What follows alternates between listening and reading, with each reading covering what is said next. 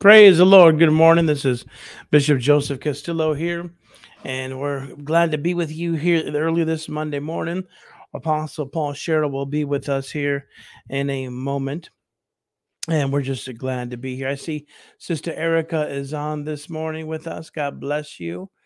Good to see you, Sister Erica. Amen. Erica Tolbert in uh, in, in Livonia area there, Michigan, Detroit. God bless the from, from the River Saints of Livonia. Amen. I hope everyone had a beautiful uh, weekend here. We are cooling off in Houston. And yesterday, we uh, our church had a new uh, location that we christened, and and that was a beautiful service. Uh, unfortunately, we did lose the audio on it. Um, I wanted to podcast the message from yesterday, but we lost the audio in the sound booth. So unfortunately, I might just have to go on and preach it again on a live stream or something and capture that audio so we could podcast it out because it was a very good message. We're teaching uh, on a series called Church Incorporated. Uh, Church Incorporated, and we're dealing with the spiritual church you know, and how the spiritual church must be addressed and taught and trained and raised up versus the church incorporated the marketing beast that the church has become in the West. So we're talking about that. Uh, Brother Yancey, God bless you. Good to see you this morning.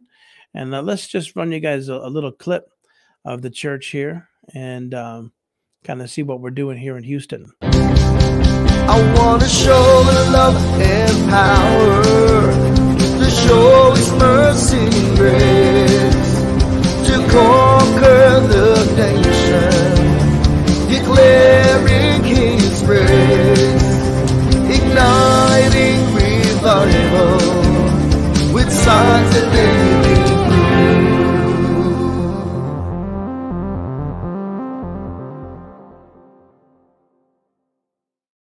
Amen. So there's little, little, some clips from our church there, and uh, that beautiful uh, song I wrote. That the lyrics uh, uh of that song, I, I could say co-wrote it with um, Pastor Bryle.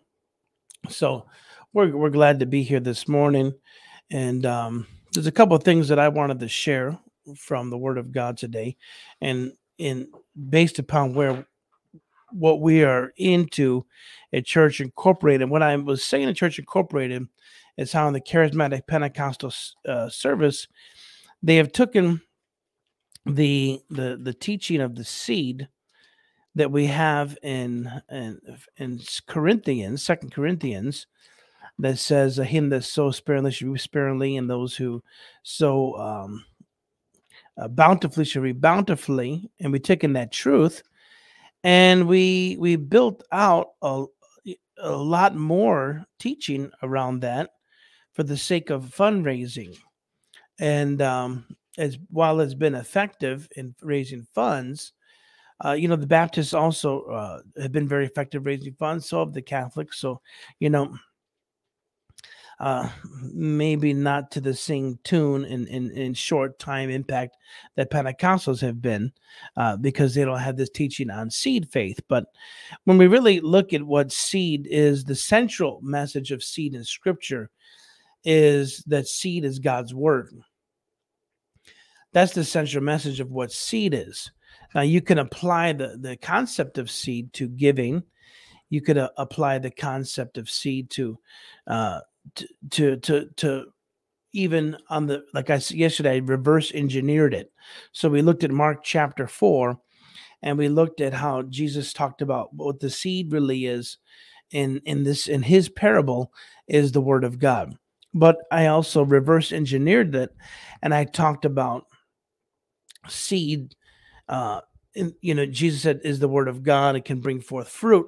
Well, I talked about it in the opposite, also uh, negative seeds, you know, demonic seeds, negative seeds also can bear fruit on the negative side. And I talked about how really most people deal with things and and and live under certain type of ceilings and certain type of uh, guards and certain type of limitations based upon seeds that were planted in their life, and most times from childhood. And so uh, I, I gave the testimony of one of the elders in our church, Elder Juan, Elder Juan uh, from Juan Lim from Singapore.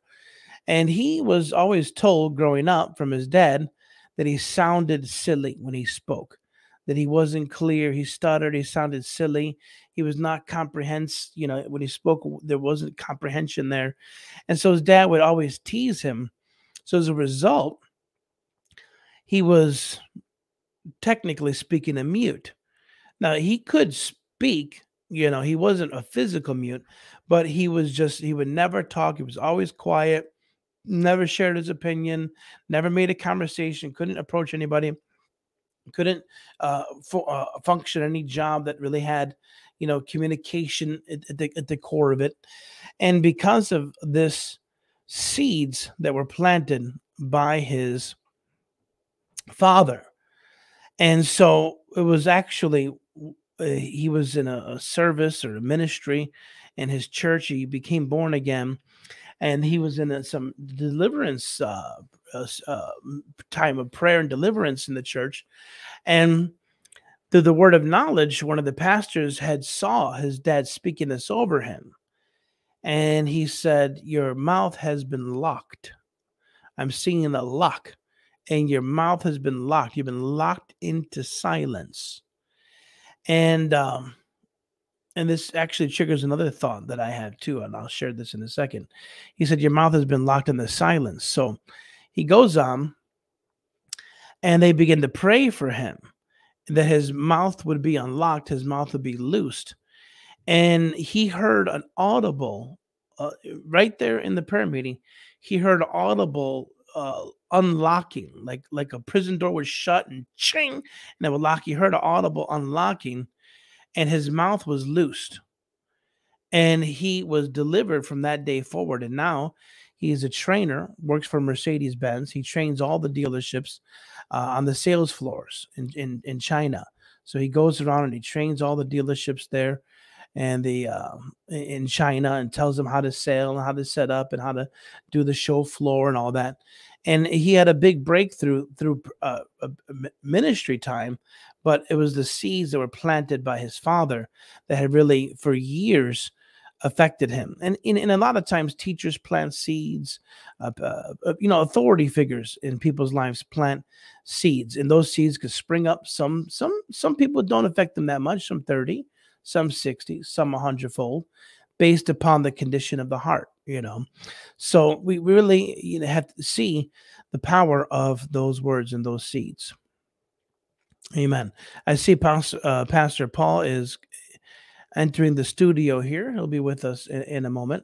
But uh, I was, was, with a man of God named Prophet Kevin Leal, Kevin Leal, and we were together, and he was ministering to some young girls that had been uh, hit on or had been um, touched in a in a bad way sexually by ministers.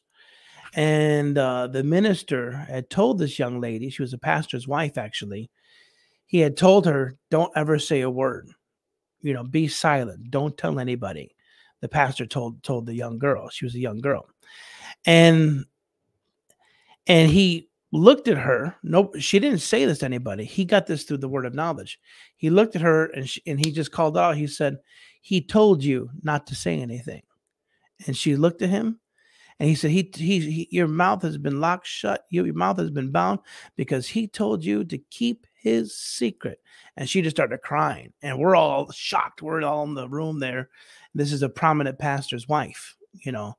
I don't even know if the pastor knew, you know, I, and I have it on video. I, I never shared it because to protect her anonymity.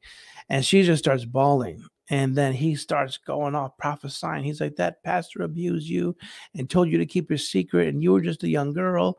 And it was just, and she got delivered right there. She was weeping, crying, fell on the floor, like, like collapsed under the the the breaking that and he broke that curse through the word through the prophetic through the word of knowledge that had bound this young girl who's in her 30s all the way from her teens and so that was a seed planted and that time was by a pastor and that seed had kept her under a heavy yoke for many, many years. So, you know, what Christ said in Mark chapter 4 about the the words being sown and growing up and producing fruit, it works on both ends. You could reverse engineer it and see how that works on both ends, you know.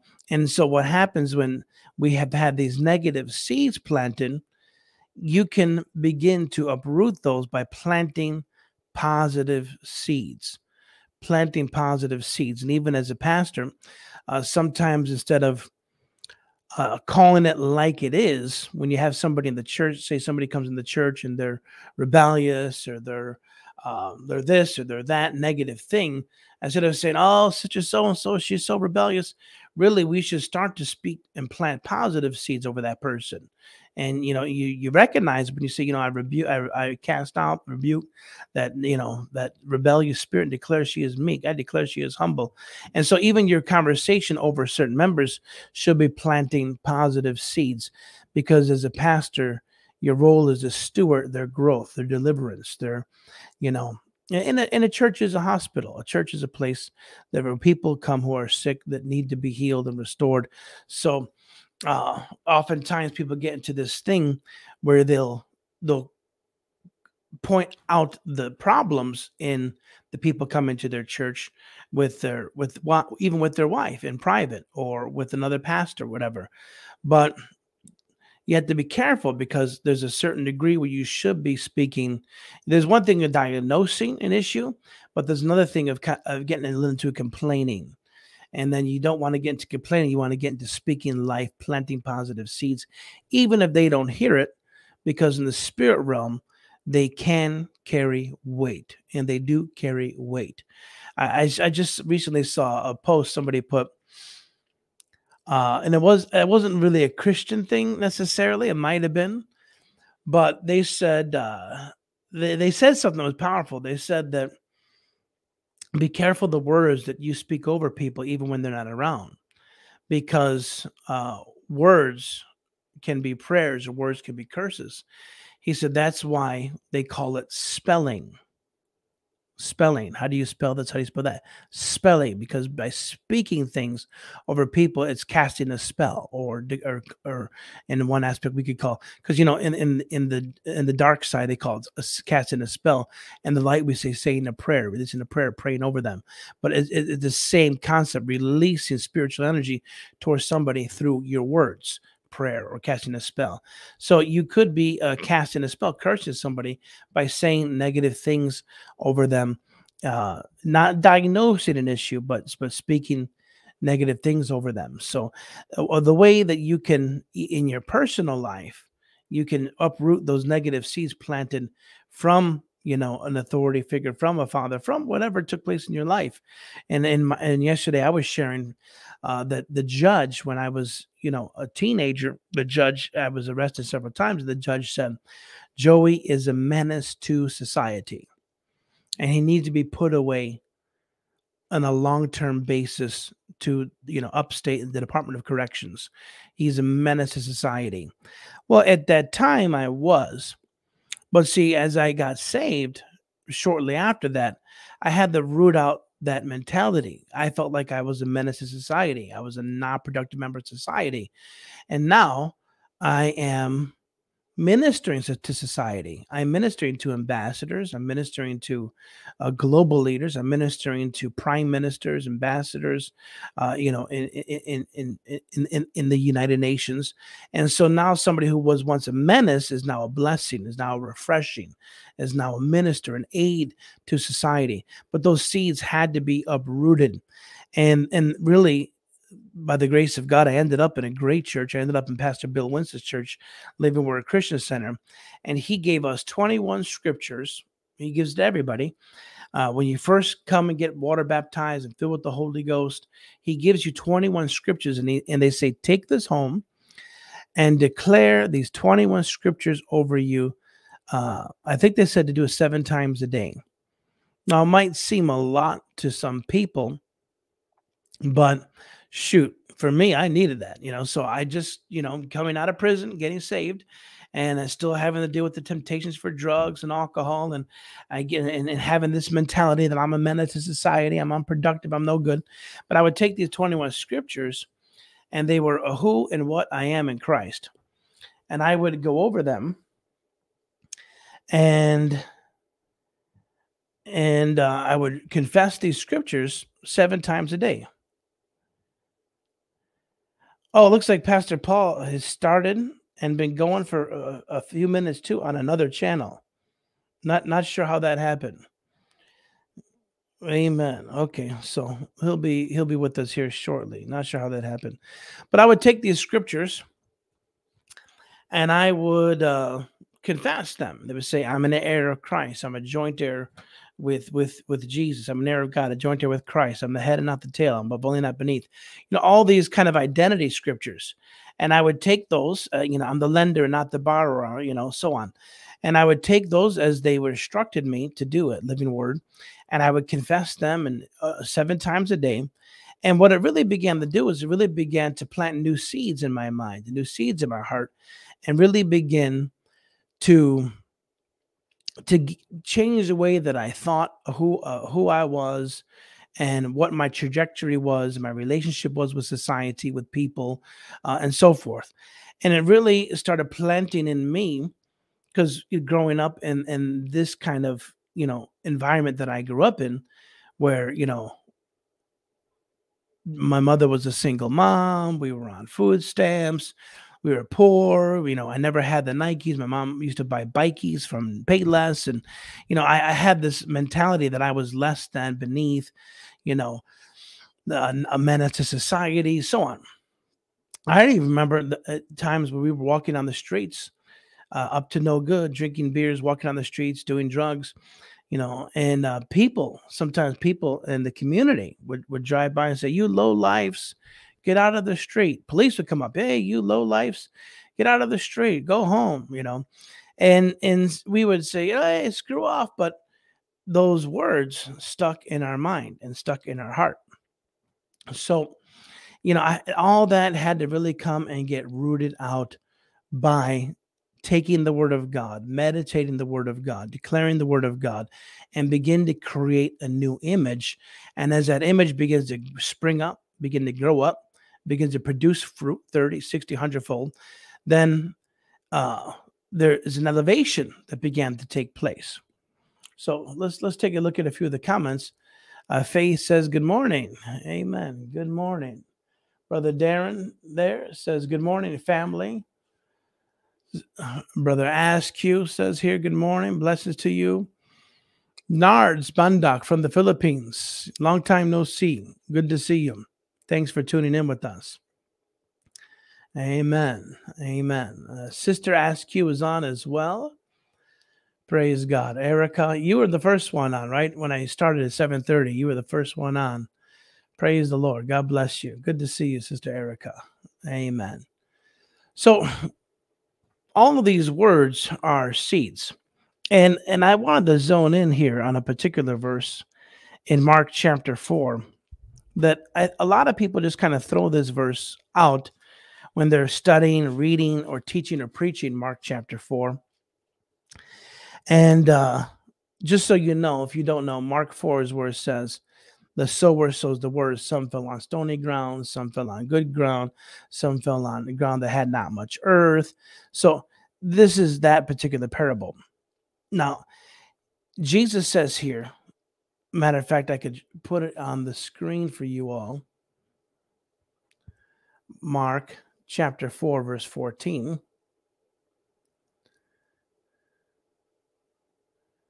Mark 4 14. Here we go. Okay, let's put this on the screen.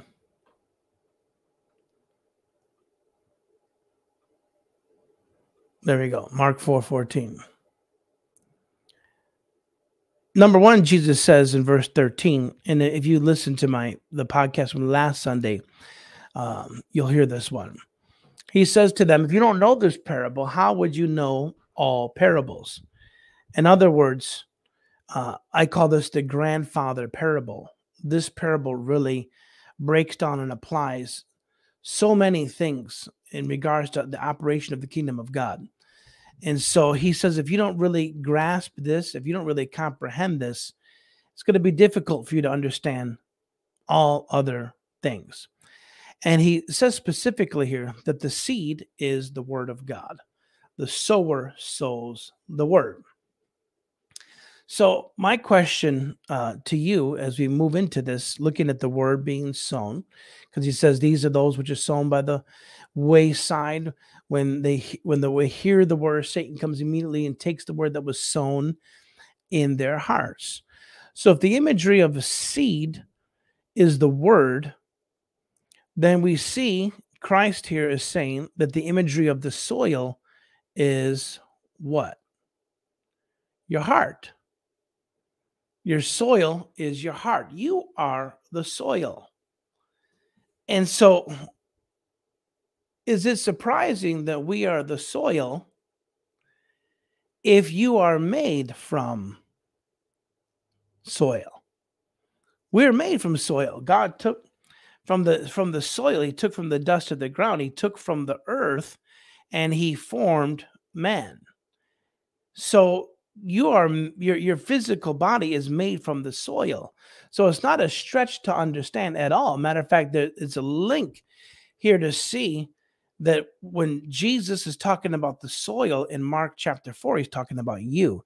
Your body, your being is designed just as soil, it is soil to produce and to reproduce the seeds that are sown. Very powerful truth here.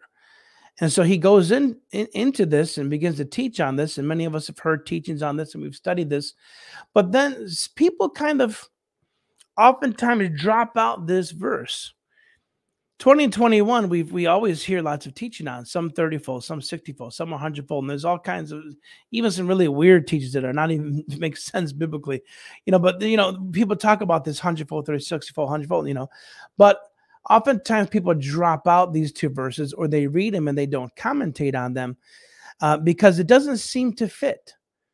The entire chapter, Jesus is talking about seed and soil, the seed of the word of God. The word of God is a seed. You plant it and it'll grow up in spring. You know, so people don't really understand how this fits in. Verse 21 says, And he says unto them, and I didn't get a chance to teach this yesterday for the sake of time. I didn't get a chance to bring this up, but I want to highlight it this morning with everybody. Uh, because you know discipleship is really not made in in service in church it's the, really the meetings after the meetings the disciples are made and that's kind of what the greater glory show is, is doing is spending time discipling uh, our, our, friends here our family that's watching our, our faith family so in verse 21 this often just gets left out or not even commentated on but he says to them, Is a candle to be put under a bushel or under a bed and not to be set on a candlestick? Then he says, For there is nothing hid which shall not be made manifest, neither was anything kept secret that it sh- that it should come abroad. If any man have ears, let him hear. And then he says, "Take heed to what you hear, to what measure you meet, should be measured into you." You know, and he and he goes back talking about casting seed into the ground. The kingdom of God is if man would cast seed into the ground. You're sleeping right day and night. You know, so typically, what I've seen in in 22 years is that these scriptures here, 21 and 22, are often off, often taught as there's nothing hidden that shall not be revealed. Be careful what you do. Uh, it's going to come to light. God's going to expose you. He's going to expose everything. And we've always heard this taught in under that under that light. And but when we don't ever hear this taught within the light of sowing seeds, sower soweth the word. We never see it in the light of the word of God being sown so that it can produce in your life. And the reason why is because people haven't really understood that these verses are not just random words that Christ spoke like he threw a wrench into the engine. these two verses are not a wrench in the engine, it's the exact same topic. And what he's saying is that you cannot sow the word and it not produce in your life. You cannot sow the word and it not manifest in your life. So that's what he's saying here in verse 21. He said unto them, Is a candle brought to be put under a bushel or under a bed? No. Shouldn't it be on a candlestick? In other words, if you're sowing the word, it's what what you sow into your life in private that it's not it's not just so you can uh, have your devotion time it's not just so you can you know it reminds me of dr lester sumrall my spiritual grandfather you know uh, he would go to smith wigglesworth's house you know, one one day he was preaching in England. Smith was standing on the platform and he was out there ministering. And Smith, you know, came up to him after the service and said, Hey, that was a great message you gave. But that last, you know, that last five minutes, I forgot the exact amount of time he said, but that last five minutes was not from God at all. That was the flesh. And so Lester Sumrall was was just kind of shocked and he was shook to be on the platform with this veteran, you know. And Smith says, "I want you to come to my house tomorrow at, at such and such time." Uh, the, the, exact details Frank told me, but I just kind of forgot some of the small details that what time it was, whatever. But he said, "Come to my house tomorrow morning." So he thought he was about to really get reamed out by by brother Wigglesworth. So he goes there and he, he ends up going to his house. Long story short, I'm going to cut out some of the details, but he goes to his house and they sit there and they read the scriptures for five minutes and then they pray for five minutes. Then they read the scriptures for five minutes and then they pray for five minutes. Smith didn't tell Lester Sumrall what they were doing. He just said, Come sit with me and join me in, in my devotion time. And so they they went on like this for hours five minutes prayer, five minutes reading, five minutes prayer, five minutes reading. And he's just going along doing this with Smith. And then at a certain juncture, he calls in his wife, brings some tea and biscuits, and it's time for tea. So they have tea. And then after tea, they go back into it five minutes praying, five minutes, you know. And so they did this. And this went on day after day after day. He would come and they would meet and they would do this day after day. And he felt like, hey, you know, I'm out here on the mission field. I'm out here in England, you know, this and that. And, um, uh, you know, what are we doing? We're just, we're just, we, we're not even really talking. He's not mentoring me. He's not telling me anything. He's not teaching me anything. He's just, you know, making me sit down and read five minutes and pray five minutes, read five minutes, pray five minutes. And he was really kind of confused about what, what is all this about, but he, he don't want to say anything. But after a, a certain time, a week or so of doing this, when he was walking back home from Smith's house, in his belly, he felt this surge of power. He felt this this this this ball of energy, the strength surging and pulsing in his inner man, in his spirit man. And the Holy Ghost told him, This is what Smith has been giving you. Can is a candlestick made to be put under a bed or a bushel. In other words, what you what the, the investment in the word that you're sowing privately is meant for public demonstration. When Smith, when Lester Sumrall left England, he went to the Manila, Philippines.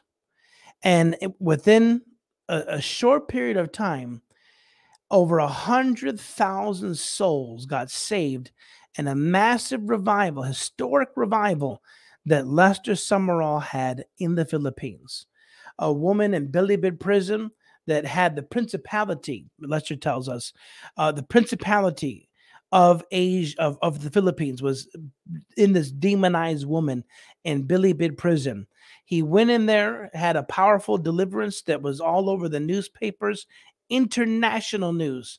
Uh, then they the the mayor of the city gave him the sunken gardens to have an outdoor crusade for 30 days wherein he brought in morris Cerullo, he brought in uh, uh, Oral Roberts, he brought in Rex Humbard, and for 30 days they had a, a massive crusade there and over a hundred thousand souls got saved in 30 days. And I went to the Sunken Gardens. I interviewed people who were in that revival. I took Papa Frank Sumrall, one of my one of my mentors. I took him there, and we actually went into the Bilibid prison and told the story in the prison cell and filmed it, and it's on my channel If you go to my YouTube channel, it's on my channel where we're in the prison, we're preaching in the prison, we tell the story in the prison.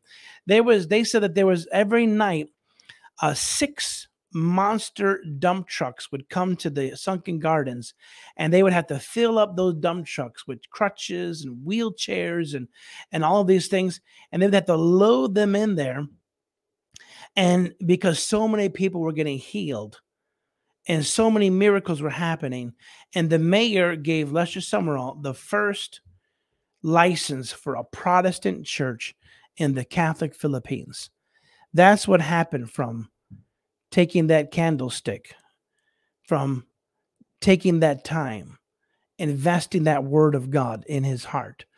And so this is what it's saying in verse 22. It's not speaking in the negative. There's nothing hid which shall not be manifested. He's talking about what's what's he talking about being hid? He's not talking about his sin being hid. He's talking about thy word have I hid in my heart that I should not sin against you. Nothing hid. If you hide that word in your heart, there's nothing hid that shall not be manifested. There's nothing you do in your secret time, in your prayer closet, that shall not come abroad. This is the context of what he's saying. He didn't throw a, a, wrench into the engine and just change subjects about somebody sinning. He's talking about the sower sowing the word, hiding that word in your heart that it will manifest and it will, people will see, the nations will see. And, and, and he, he continues on that right here. If you scroll down about the seed planted, and he says in verse 32 when it's hid in your heart, when it's sown, he says it grows up, verse 32, and it becomes greater than all the herbs, and it shooteth out great branches, so that, watch this, so that the fowls of the air may lodge under the shadow of it. In other words, that which God produces in your life through the, the word of God being sown in your life will provide shadow even for others to rest, to bask, to be blessed, to be refreshed in.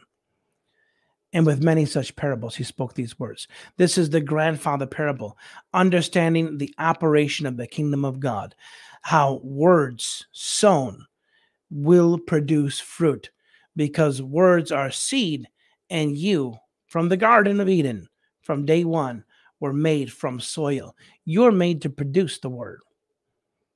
That's why, when speaking on the negative side or the positive side over your children, over yourself.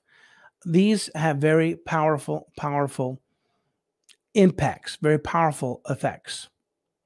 And so, this is what we're talking about here on the sower sows the word in our, our series. Let's see, we got Mark here. Mark says, Hello from Germany. Isn't it great that you have someone tuning in from Germany? Yes, it is great. Praise the Lord. Praise the Lord. And I got a message from Pastor Paul. Uh, okay, he said uh, he's gonna uh, ch- he's gonna uh, look into something, and then he said just uh, he can't make it today, so just finish the podcast off. Amen. Amen. Mark in Germany, blessed to you, sir. I see you're teaching English. I had some British chaps. You know, those of you know Mark we call him Mark from Germany, and even on his thing, he says Mark in Berlin.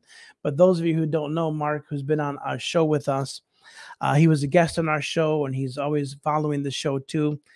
Uh, Mark says he's teaching an English class on his Facebook page, and and it's funny because when I was in uh, when I was in China, I had an English school, and my company we had about 30 teachers who were working for us full time at one time, and we were teaching English. And I really, really focused on hiring Americans. And my company, my first company's name there was American English.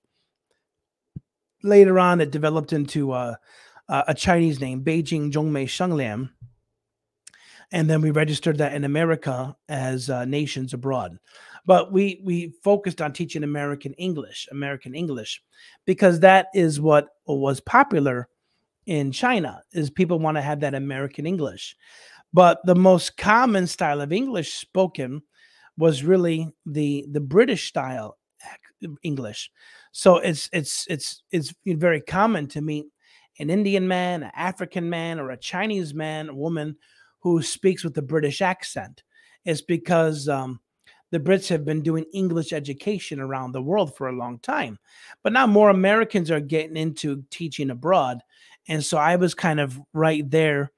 It, it, it really, you know, the height of Americans going abroad to teach with, you know, ESL classes and IELTS courses, and I, I, was running an IELTS course for people to be to to to become a teacher of English as a second language, and we had a British guy that was teasing me. You know, I was in the newspapers. I was I became very well known there in China for my English school, and they started a, a British guy was making fun of us. He said American English, he said is not superior. He said British English is is actually much more superior. And I said, no, no, I'd argue with him. And he said, American English. And I'd like to see what Mark thinks about American English. Let me see what he says here. uh, I'm sure your school, it was successful. We did well.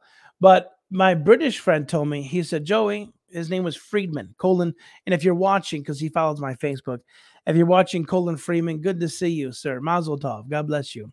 He's a Jewish brother from uh, from from from England, from uh, London. He says American English is the lowest common denominator, the lowest common denominator. And well, I, I, I thought that was hilarious because lowest common denominator, you know, the reason why people want to speak American English is because all the American music and the American movies, you know, truly through Hollywood and through the you know the entertainment industry, uh, NBA, all that stuff, American English has now become the lowest. I mean, the most common denominator. So he used that math term called the lowest common denominator because though American English is the most widely now uh, spoken around the world through the power of Western media, American media, it is uh, not the best one. So he called it the lowest common denominator. So that's funny. But you know, British English, uh, Mark, and American English is is so different to me that for years I could not watch a British movie. For years, I could not watch a British movie because I didn't understand what they were saying. Every time I put on a British movie, I would actually have to put on the subtitles to understand what they're saying. And to make matters worse, I met a when I was preaching in London. I usually ch- preach in London like once a year. When I was preaching in London, I had this guy, I believe was Hockney from Hockney, or he spoke Hockney or something like that.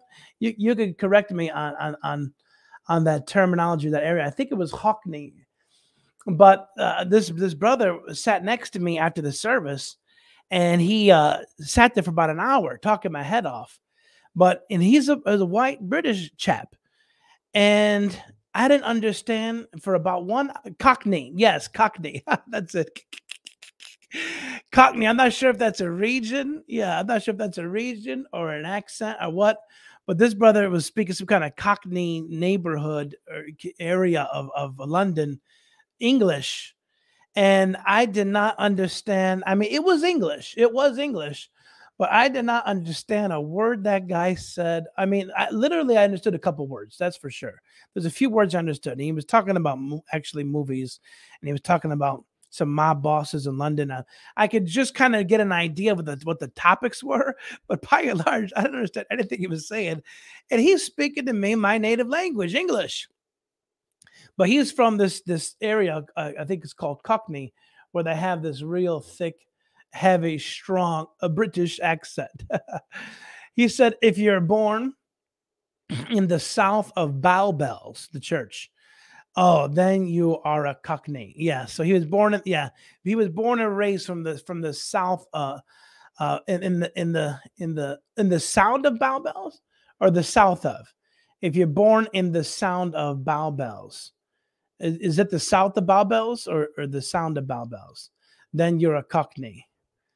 And then Mark says, you know, you should come on the broadcast. I'll send you a link. You should come on the broadcast and and speak some Cockney. he can speak Cockney for really. It's quite funny, guys. You know, if you, if you meet somebody who speaks Cockney, and I tell that every you know every time I meet somebody from England, I, I tell them this story. You know, because I didn't understand a word this brother was saying, but you know what? He was so happy to be talking to me. You know, he was so excited and happy, and he was just talking, talking, talking. I didn't want to destroy his joy and keep saying it. Pardon? What? Huh? What do you mean? Can you say that again? What's that? I didn't want to destroy his joy. He was so happy, you know. Oh, bow like a bow in your hair. Yeah. Oh, bow, bow bell, bow bell, not bow bell, bow like a bow in your hair. Yeah, I'm getting I'm getting English lessons right now here. the sound of bow bell. Okay, the sound of bow bell at church. Amen. So yeah, yeah, eh, that, that's the exciting thing that me and Apostle uh, Paul we've enjoyed so much. Uh, you know, traveling the world in ministry. It's not easy to travel and airports and security and flights and hotels and you know there, there's a downside to it but the beautiful side of it is meeting the people of god you know whether they're you know african or whether they're from cockney you know uh what, what whether they're from you know north korea or wherever we you know i've been around the world it's just been a blessing to minister in in the people of god really you love the people you know uh, matter of fact i have a little video I I could share with you all. This is from my church in China yesterday. And they uh we had some of our Mongolian friends that we've had uh, raised up and ministered to and poured into and and we've had in China several times and done trains with them. They're now uh I actually I think today they're back in let's see you you might have a little glitch in the connection here. But today they're back in China and back in Mongolia, but they were for a couple days visiting China and they got to go back to our, our church there in uh, Beijing, fellowship with everybody. And I'm going to show you a little clip here, but let's see what. Okay, so Mark was born in East London. So he's not a Cockney, but I know the rhythm the rhythmic slang. He knows the rhythmic slang of Cockney. Yeah, it's quite quite a quite a fun, interesting, and and, and charming accent, but hard to understand if you're not born and raised in it. Very hard to understand. I'm I'm gonna drop this video to, and I want to upload this video for you guys to see. Let's see if we can get this video up and running.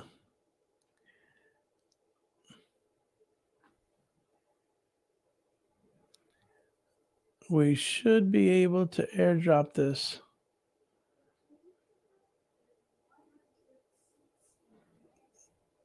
Let me know if if if you guys see a little glitch in the broadcast because I'm just trying to airdrop something that I want you guys to be able to to enjoy. I'm going to share a little clip of you guys from the underground church in China. So let me just uh, share this with you all. This is from the underground church in China. And this is a yesterday's service. They're still meeting in secret, but it's good to see that they're doing well. Hallelujah. That they're still thriving and doing well. So I'm trying to airdrop a copy of this here. Well, we're going to be leaving for China soon. Right now, I don't see this airdrop coming through, but we are going to be leaving for China soon, and um, I'll be leaving on the right after Thanksgiving, the Sunday after Thanksgiving. So we're going to do Thanksgiving here with with the with some of the uh, some of the church members uh, here in Houston. Then we're going to leave for China and pray for me because we are going to be flying through Istanbul, Turkey. We're going to be coming through Istanbul, Turkey and uh, I'm a bit concerned. I actually called up Expedia and asked them if there was a way to kind of reroute us a different way. But they said this ticket is not refundable. And the reason why is because after we booked our tickets, President er- er- Erdogan, he came on television uh, threatening to invade Israel. So I thought, oh, Lord Jesus, I don't want to be, you know, transferring you know, flights with the eight hour layover in Turkey if they're going to be at war with Israel because uh, that is not, uh, you know, we don't want to be in an airplane when they're shooting rockets around, right? So I called up Expedia and asked if they could reroute us, and they said they really can't uh, do that unless it escalates. So they said if it escalates, then uh, call them back. They can maybe do something. But as of now, there is no refund on the ticket. So we're gonna just go flying through Istanbul, transfer, and then head to Beijing from there. Uh, but Mark is asking, do I speak Cantonese or do I speak Mandarin? Uh, Mandarin, Mandarin. They call it uh, Putonghua, Mandarin. That is the language of the people, the language of the nation, the national language. So I'm going to be going through there, and then we'll be three weeks in there. And right now, I'm looking at ministering in uh, three major cities in the southern part of China. And then, of course, we want to be with our, our friends and family in Beijing, who we love and miss dearly.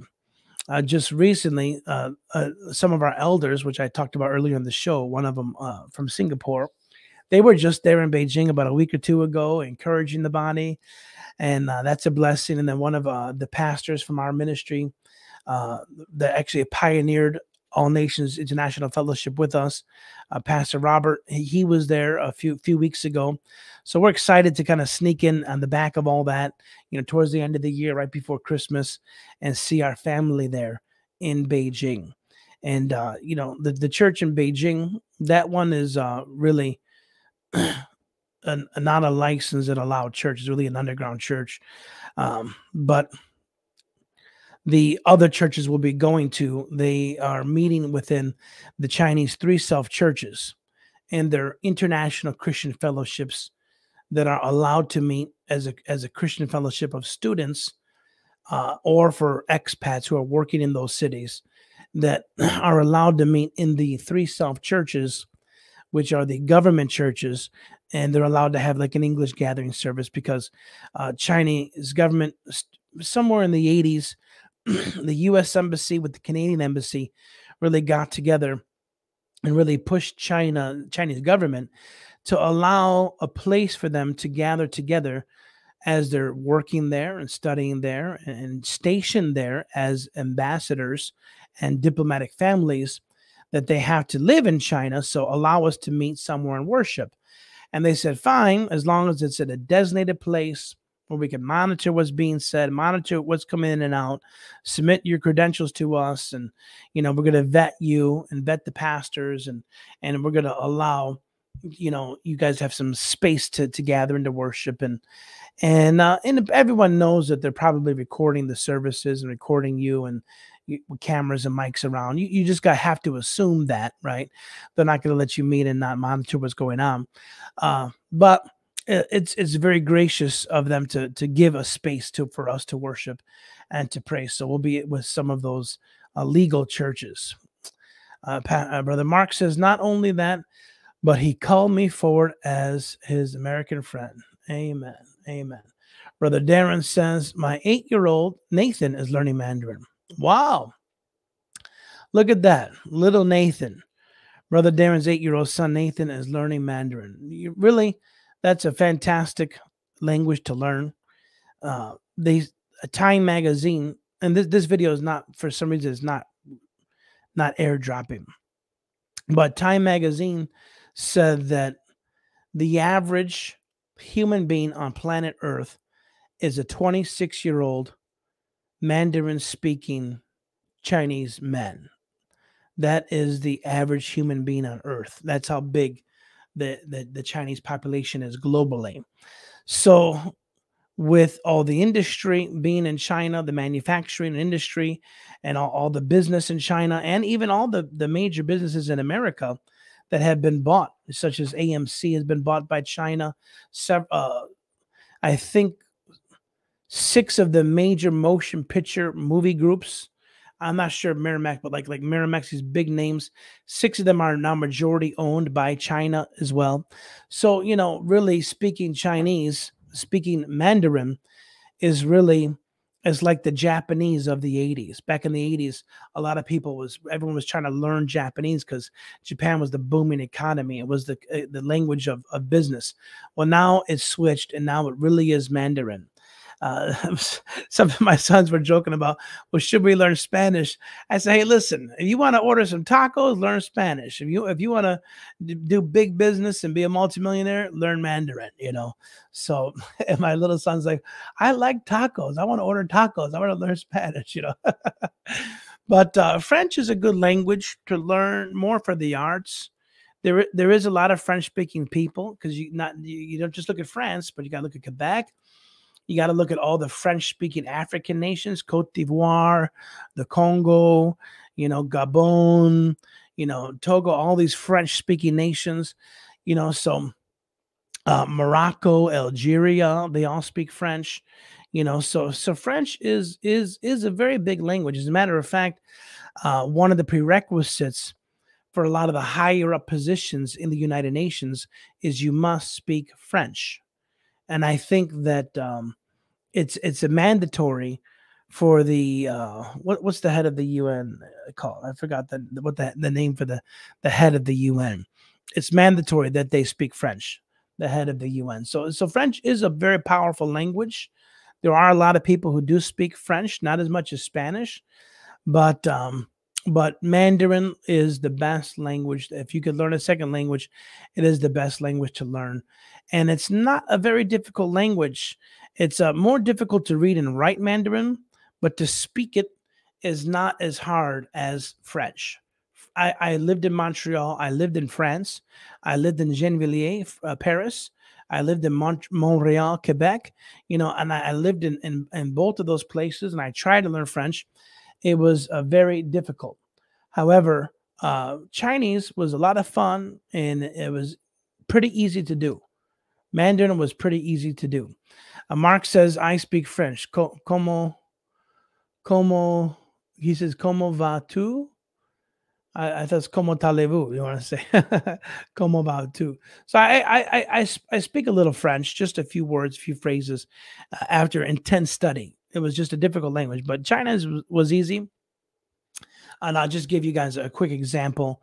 Uh, hello is is two simple English words. Knee, you know, you have a knee. Everyone has two knees. And then how? How are you? Ni hao. So ni hao is hello. Ni and then how. So if you could c- come up with some of these kind of uh, uh, tricks to really help you remember the the sounds and what they mean then it could really help you with the language. So any any kind of phrase phraseology that i wanted to to to learn any sentence or words i want to learn i just think of what would be the english equivalent and then i just have to remember the meaning of saying those things. For example one of the first things i learned in china was um was like why? It's wei shima. Wei shima is why and so when you're in the markets in China, they always try and overcharge you. It's called the foreigner tax. They try and charge you too much money. So I would always say, you know, well, why so much? Why are you raising the price? Why is it more expensive for me? So instead of saying why, I said, wait so much. Why so much? Why Shema? Why so much? It sounds it sounds like why so much? Why Shema? So that's how I that's how I learned why Shema. So everywhere I went, I would just say why Shema, why Shema, why Shema. You know why, why, why? You know, and that's kind of how I started picking up Mandarin. So it's really a fun and easy language to learn. Amen. Uh, oh, Erica has a minor in French. Now, Erica, a lot of people I met in the, in the states that has studied French in school, they've forgotten it. They can't speak it anymore how is your French, Erica? And I and, also uh, God's blessed uh, me with a, with a wonderful uh, relationship in some of the great churches in Paris, and um, I, I, go to Paris very often to minister, and then we also do some mission work to the to the to the refugees that are there. And so we love going to paris. I try and go every year and speak at some of the some of the great the largest churches in the nation and some of the great african churches too. And then we do a lot of mission work. So um and we're discussing with one of the ladies in our church to come with me on the next trip. Last time i went i took five people with me and they they just their, their life were so changed and impacted. It was a, a, time that they'll never ever forget. It, it, was just an incredible mission trip, and uh, we do plan to go back next year, Erica. And if you'd like to join the team, we'd love to have you on the team in Paris, France next year. We'd love to have you join the ministry team, the mission team going to Paris. Amen. Especially since you have a little bit of that that French background, you can help interpret for our Uber drivers and so forth. Amen. So, anyways, uh, it's been a blessing. I, I hope you got something out of this Mark chapter four. Remember that as you hide that word in your heart, it will not remain hidden. There's nothing. There's no, there's no word, no time that you could sow in your personal time, in your personal closet, that shall not be manifested, that shall not be revealed in your life, and not only manifested for you, but also so that even others could come and find shade in the the the fruit that is born from the soil of your life as you take the eternal word of God, the promises of God, the things that God says about you, and plant them into your heart. The seed is the word of God. And the seed will produce for you, even if you don't have seed to give. You could take the poorest person in the backside of Africa with no money to give in an offering, but he could plant the word and be raised up and prosper because the word is the seed. Now, when you you can give financially as a sacrifice and a step of faith, but you have to tie it to the word. You have to tie it to the real seed, the word of God. And you take you, you when you bring those two together, a sacrificial offering and and standing on the word of God, miracles do happen. So, anyways, we love you all. Thank you for watching us, Erica. God bless you. And uh, yeah, brush up and join our friends team. Uh, I'll, I'll be in contact with you on that. Thanks everybody for joining us for the Greater Glory podcast. We will see you tomorrow morning at 7:30 Central Standard Time, 8:30 East Coast.